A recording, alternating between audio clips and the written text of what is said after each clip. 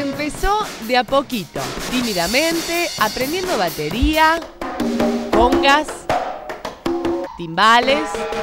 Hoy Ulises ya tiene su disco y mañana se presenta en Córdoba por primera vez. Mi música es el típico cuarteto que por ahí hoy en día está faltando un poco porque es lo que dejó Rodrigo era su música, así que es, es ese el estilo que tratamos de seguir.